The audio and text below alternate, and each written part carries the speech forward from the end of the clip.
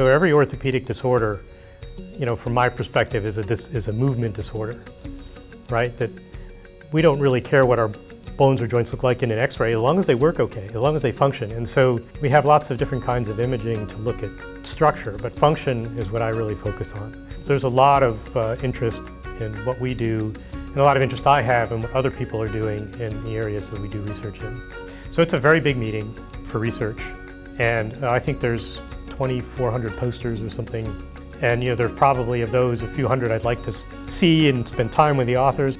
To me, the most important aspect of this meeting is to find out what the people I know are doing, what's new, because if you wait till it appears in a journal article, it's typically two years after the research happened. And what you see here is only about a four to six month from, from the, when the work was actually done. So it's the first chance to see where the research is going, who's doing things that are interesting in the areas that we care about. A lot of it is the idea of crossover, that what's unique in terms of new techniques and, and uh, measurement capabilities that are developing that we might be able to apply in a different area in our research. What can I see that's going to stimulate the next big idea for a project that we can do? So making sure we're not falling behind what the current state of the art is, because here's where we can see it.